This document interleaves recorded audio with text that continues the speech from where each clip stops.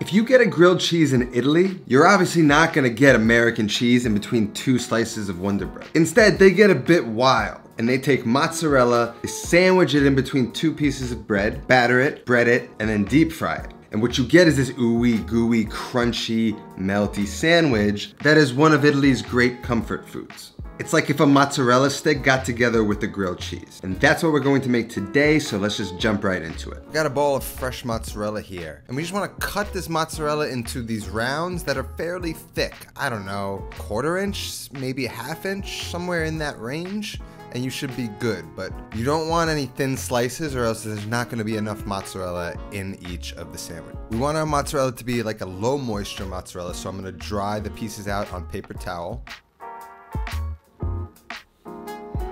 Then we're gonna take some white sandwich bread and we're gonna remove the crusts. The crusts dry out a little bit and they're just not necessary for this recipe. And I'm actually out of homemade breadcrumbs that are usable, so I'm gonna take these scraps and add them to my breadcrumb bag, which I'll just leave out at some point to let some of this bread dry out, which I'll then turn into breadcrumbs. Once we've removed the edges of about six to eight slices of bread, then we can go through with a rolling pin and flatten out each piece of bread. And then we're gonna place one piece of mozzarella in the center of the bread and then close that up. And then we're gonna kind of use like the moistness of the bread to seal the edges so that that mozzarella gets encapsulated between the bread. And then just go through and prepare the rest of the sandwiches. If any piece of mozzarella is a little too big, just tear off a bit of the edges until it fits nicely in the bread. Once all the sandwiches are made, we're just gonna cut each of the sandwiches into a triangle. Having a good serrated knife on hand is going to make this job a lot easier. I get these on some sort of pan. I actually forgot to salt the mozzarella, so remember to do that. Next, we want to set up a three-stage breading station. I got some breadcrumbs, about two cups, and I have six eggs. I'm gonna crack three of them to start. And I wanna whisk them up really well. You see how it's like stringy a little bit? I want that stringiness to loosen up kind of like this. Otherwise, those strings get caught up in the breadcrumbs, which is no good. Then we got some all-purpose flour and everything is salted. And we're gonna take one piece of the sandwich, coat it in all that all-purpose flour, then we're gonna take one hand that's gonna be wet and we're gonna use a fork to kind of help us get coated in the egg. Use that fork to scrape off any of the excess egg and then into the breadcrumbs. And you wanna keep tossing the sandwich in the breadcrumbs. As you move it, coating it in the breadcrumbs, it's gonna reveal any wet spots and the wet spots are our enemy. We just wanna make sure we get these coated completely in dry breadcrumbs, no wet spots. Stand it up on its sides. This is really where the love comes in in this dish. Then just go ahead and repeat this with the rest of the sandwich pieces.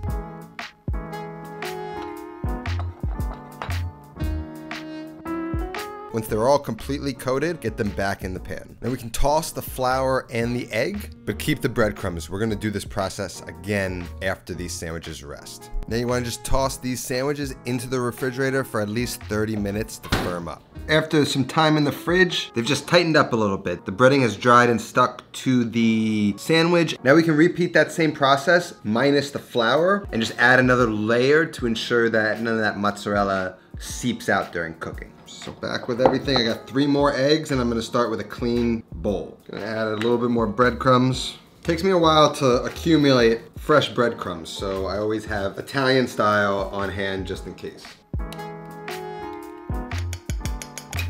Same idea, one more time.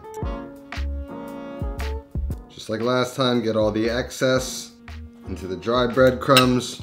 Make sure it's nicely coated perfectly crusted.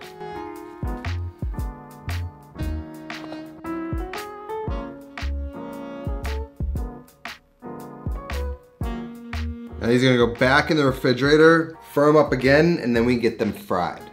Now every grilled cheese needs something to dip in, whether it's hot sauce, a soup, or in this case, we're gonna use my weekday sauce. And I've showed this so many times, I'm gonna leave a link down to the full video in case you wanna really dive into it, but we're just gonna make a quick and easy version where we run a really good can of tomatoes through a food mill and get it to a nice puree or a passata, some sliced garlic and a basil stem. Get some olive oil in a pot and over medium high heat, we're gonna infuse the olive oil with the garlic and basil, and then we're gonna toss in that tomato puree. We're gonna bring it up to a boil and then drop it down to a simmer and cook it until it's nicely thickened. Then we're gonna get our pot full of oil so that we could fry our sandwiches in. Fill the pot up no more than halfway with a good frying oil and then add a thermometer. It's important to keep track of the temperature in this recipe. We really wanna keep it in the range of 330 degrees Fahrenheit to 350. Anything higher, you might brown the sandwiches before the cheese in the middle has time to melt. We're just gonna cook one as a tester, let one side set and then give it a flip. I like to kind of splash some oil on top just to promote even browning and then just keep flipping and basting in oil until we've got a nice golden brown crust. Then transfer to a rack to dry.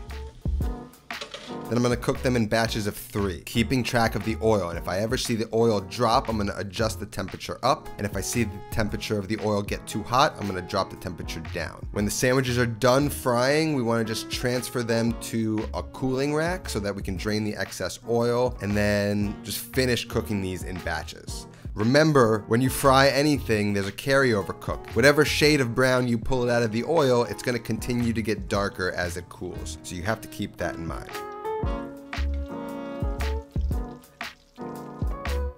Once all the sandwiches are cooked, we can platter them up, serve with some fresh basil, the weekday sauce, and some Parmigiano Reggiano. Now, mozzarella in carrozza translates into mozzarella in a carriage, and they say that when pulled, it resembles the reins of a horse and carriage. You gotta love the Italian imagination.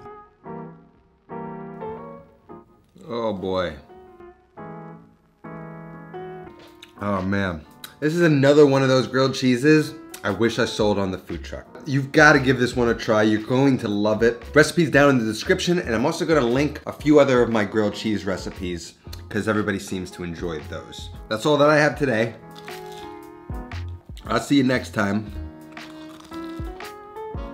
Until then, take care of yourself and go feed yourself.